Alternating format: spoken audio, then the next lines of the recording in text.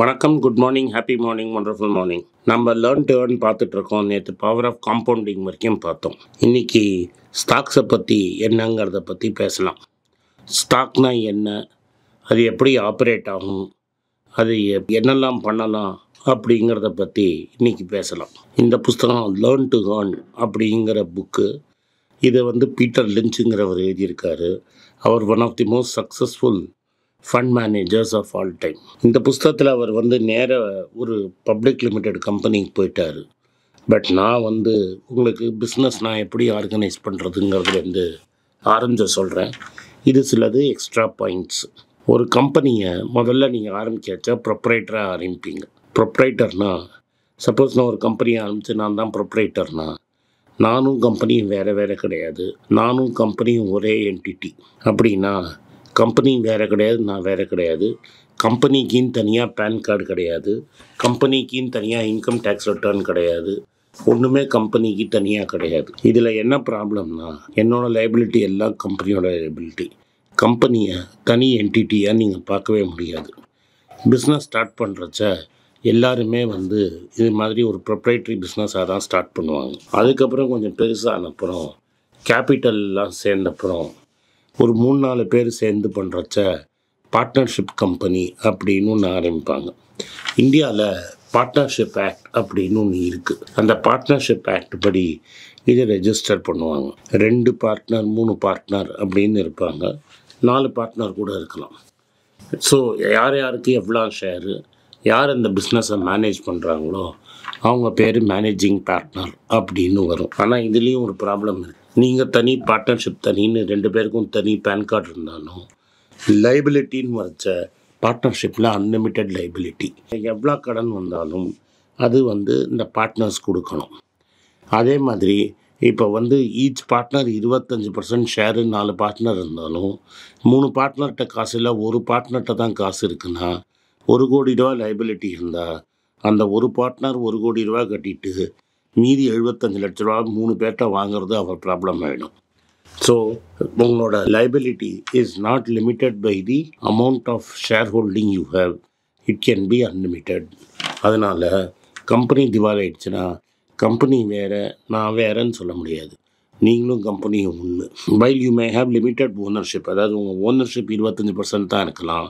ஆனால் உங்கள்கிட்ட சொத்து இருந்ததுன்னா அன்லிமிட்டெட் லைபிலிட்டி அதனால் இந்த பார்ட்னர்ஷிப் கம்பெனியும் ஒரு சைஸுக்கு மேலே இருக்காது. அடுத்தது ஒரு ப்ரைவேட் லிமிடெட் கம்பெனின்னு ஆரம்பிக்கிறது. இந்த ப்ரைவேட் லிமிடெட் கம்பெனிக்கு இந்தியாவில் நீங்கள் போய் ஃபார்ம் ஏ ஒன் ஃபைல் பண்ணி அந்த நேம் இருக்கா அப்படின்னு ஒரு கம்பெனி ரிஜிஸ்டர் ஆஃப் கம்பெனிஸில் கேட்கணும். அவங்க வந்து இருக்குன்னு சொல்லிட்டு உங்களுக்கு பர்மிஷன் கொடுத்தப்புறம் நீங்கள் ஒரு கம்பெனி செக்ரட்டரியோ லாயரையோ வச்சு ஒரு கம்பெனியை ஃபார்ம் பண்ணணும்.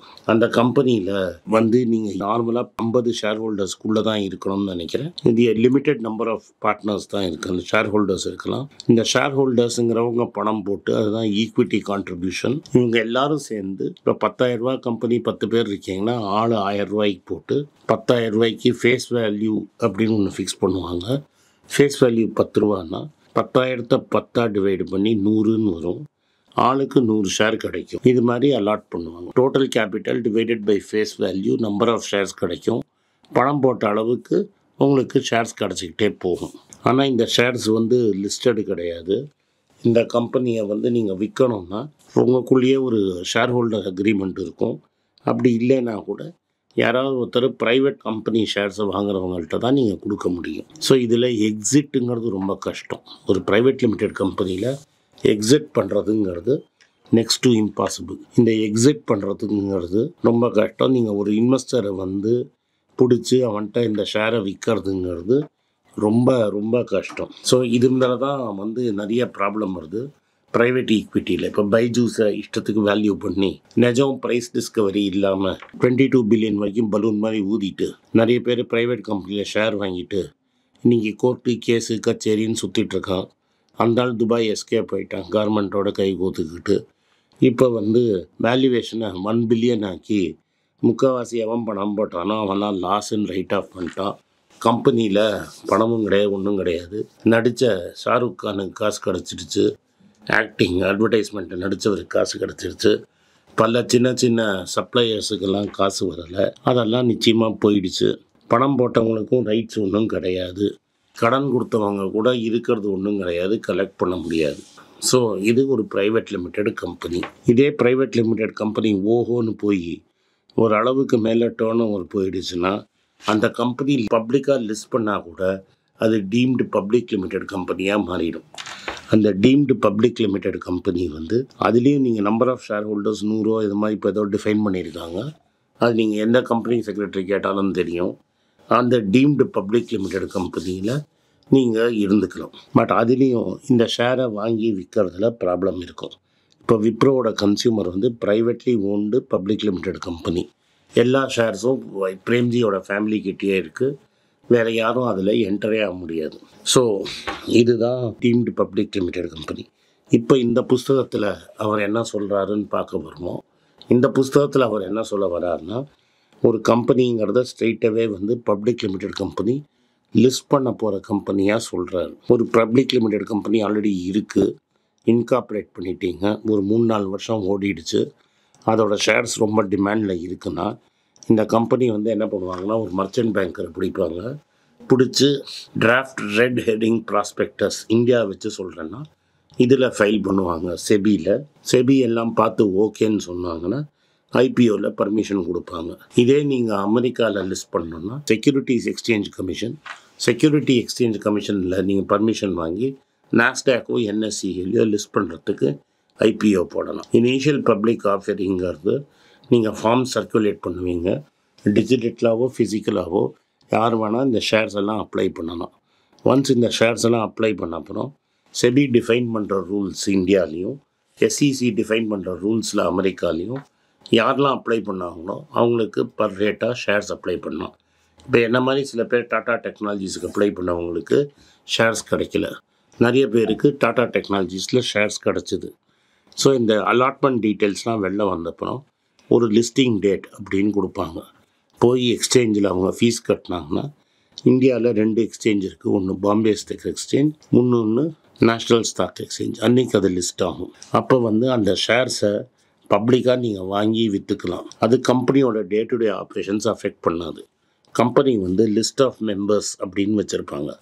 அது R and T registrar and transfer ஏஜென்ட்ஸ்ட list of share holders இருக்கும். இப்போ நீங்கள் அந்த ஸ்டாக்கை விற்றீங்கன்னா டிமேட் ஃபார்மில் அது ஆட்டோமேட்டிக்காக அந்த ரெஜிஸ்ட்ரார்கிட்ட போகும். அவன் வந்து இந்த ஷேரை வந்து உங்கள் பேர்லேருந்து நீங்கள் விற்றீங்கன்னா வாங்கின பேருக்கு மாற்றிடலாம் ஸோ இந்த வாங்குறது விற்கிறதுங்கிறது எ பிரின்சிபல் ஆஃப் நொவேஷன் மூலமாக எக்ஸ்சேஞ்சு மூலமாக கிளியரிங் ஹவுஸ் மூலமாக ஆர்என்டிகிட்ட போய் ட்ரேட் ஆகி மாறிட்டே இருக்கும். சில கார்ப்பரேட் ஆக்ஷன்ஸுக்கு நீங்கள் ரெக்கார்ட் டேட்னு வைப்பாங்க. அந்த டேட்டுக்கு முன்னாடி நீங்கள் வாங்கினீங்கன்னா அந்த கார்ப்பரேட் ஆக்ஷனில் உங்களுக்கு பெனிஃபிட் கிடைக்கும். என்னெல்லாம் கார்ப்பரேட் ஆக்ஷன் இருக்குது ஒன்று வந்து dividend rights issue split bonus அப்படின்னு பல கார்ப்பரேட் ஆக்ஷன்ஸ் இருக்குது அந்த கார்ப்பரேட் ஆக்ஷன்ஸ் இந்த புக்கில் டிஸ்கஸ் பண்ணப்பட்டதுன்னா பின்னாடி நம்ம அதை பற்றி பார்ப்போம். பட் இதுதான் நடக்கும். இதை பண்ணிட்டீங்கன்னா இந்த எக்ஸ்சேஞ்சில் வாங்கி விற்கலாம். ஸ்டாக்கு டிமாண்ட் ஒரேடியாக இருந்தால் விலை ஏறும். டிமாண்ட் இல்லைன்னா ஸ்டாக்கோட வேல்யூ குறையும். இப்போ பேடிஎம்மை அவங்க ரெண்டாயிரம் ரூபாயில் ஐபிஓ போட்டாங்க. ஆல்மோஸ்ட் ரெண்டாயிரம் ரூபான்னு நினைக்கிறேன். இன்னைக்கு அது முந்நூறுரூவாய்க்கிட்ட ட்ரேட் ஆகினது முந்நூற்றம்பதுல நான் பார்த்த ஞாபகம் இருக்குது ஏன்னா டிமாண்ட் இல்லை. வந்த விலையில் விற்கிறேங்கிறதுனால முந்நூற்றம்பது ரூபாய்க்கு விற்குது சப்போஸ் முந்நூற்றம்பது ரூபாயிலையும் இதுக்கு வாங்கிறதுக்கு ஆள் இல்லைன்னா அந்த ரேட் கண்டினியூஸாக குறைஞ்சுட்டே இருக்கும். நீங்கள் ஒரு ஸ்டாக் புரோக்கிங் ஆப்பில் ஒரு புரோக்கர்ஸ் ஆப்பில் உட்காந்து இப்போ உங்களதெல்லாம் வந்து இண்டிவிஜுவல் ஆப் அதில் வரதான்னு எனக்கு தெரியாது. பட் புரோக்கரோட ஆப்பில் இருந்தீங்கன்னா top five orders top sell ஆர்டர்ஸ்லாம் தெரியும். இதுலேயும் உங்கள் ஆப்லேயும் தெரியணும். அஞ்சு ஆர்டர் வந்து என்ன ரேட்டில் பிட் பண்ணுறாங்க எந்த ரேட்டில் விற்கிறதுங்கிறது ஆட்டோமேட்டிக்காக தெரியும். அதனால் மூட் ஆஃப் தி மார்க்கெட்டை பொறுத்து ஷேர் மேலேயும் ஏறும். குழியும் இறங்கும். இன்னைக்கு உன பார்த்தா போதும். பிஸ்னஸ்னால் என்ன? எப்படி ஆர்கனைஸ் ஆச்சு? எந்தெந்த விதத்தில் இருக்குது என்னெல்லாம் பண்ணோம் அப்படிங்கிறத நம்ம பார்த்தோம். அது ஸ்டாக் மார்க்கெட்னா என்ன? எப்படி லிஸ்ட் ஆச்சு? எப்படி பிகினிங்லேருந்து வந்ததுங்கிறத பார்த்தோம். நாளைக்கு ஓனர்ஷிப்னா என்ன? ஷேர் ஹோல்டருக்கு என்ன ரைட்ஸ் இருக்குது அதை பற்றி நாளைக்கு பார்ப்போம். நன்றி. வணக்கம். இந்த வீடியோ உங்களுக்கு பிடிச்சிருந்ததுன்னா இந்த வீடியோவை லைக் பண்ணுங்கள் எங்கள் சேனலை சப்ஸ்கிரைப் பண்ணுங்கள் பெல் நோட்டிஃபிகேஷன் தட்டுங்க. இந்த வீடியோவை முடிஞ்சால் உங்கள் சொந்தக்காரங்களுக்கும் ஃப்ரெண்ட்ஸுக்கும் அனுப்புங்க. அவங்கள பார்க்க வற்புறுத்துங்க. நன்றி வணக்கம். வணக்கங்க. இந்த ஃபைனான்ஸ் நியூஸை பற்றி டிஸ்கஸ் பண்ணதுக்குன்னு தனியாக ஒரு ட்விட்டர் ஐடி வச்சுருக்கோம். கீழே அந்த இதை ட்விட்டர் ஐடி வரும். என்னோடய இன்ஸ்டாகிராம் ஐடியும் கீழே இருக்கும். அதில் ஷார்ட் வீடியோஸ் வரும். ஸோ என்னை எக்ஸ்க்ளூசிவாக ஃபைனான்ஸ் விஷயத்தில் ஃபாலோ பண்ணணும்னு நினைக்கிறவங்க கீழே இருக்கிற ட்விட்டர் ஐடியும் இன்ஸ்டாகிராமையும் ஃபாலோ பண்ணுங்கள் நன்றி வணக்கம். உங்கள் பேராதரவுக்கு மிக்க நன்றி. நான் டோட்டலாக ஐந்து புஸ்தகங்கள் எழுதியிருக்கிறேன். மூணு வந்து ஆங்கிலத்தில் எழுதியிருக்கிறேன். அதில் ரெண்டை வந்து தமிழாக மொழிபெயர்த்துருக்காங்க. ஸோ டோட்டலாக அஞ்சு புஸ்தகம் ஆச்சு. இந்த அஞ்சு புஸ்தகத்துக்கு ஹார்ட் காப்பி வேணும்னா நீங்கள் கீழே இருக்கிற வாட்ஸ்அப் நம்பருக்கு மெசேஜ் அனுப்பிச்சிங்கன்னா எங்கள் டீம் உங்களை காண்டாக்ட் பண்ணுவாங்க. இந்த ஐந்து புஸ்தகங்கள்ல மூணு புஸ்தகம் வந்து கிண்டலில் இருக்குது அமேசானில் கிண்டலில் வாங்கணும்னு ஃபீல் பண்ணுறவங்க நேராக கிண்டலில் வாங்கிக்கலாம். தமிழ்லேயே யாராவது ஃபைனான்ஸ் நியூஸ் படிக்கணும்னு ஃபீல் பண்ணிங்கன்னா தயவுசெஞ்சு மணி பேஜ் டாட் காமை விசிட் பண்ணுங்கள்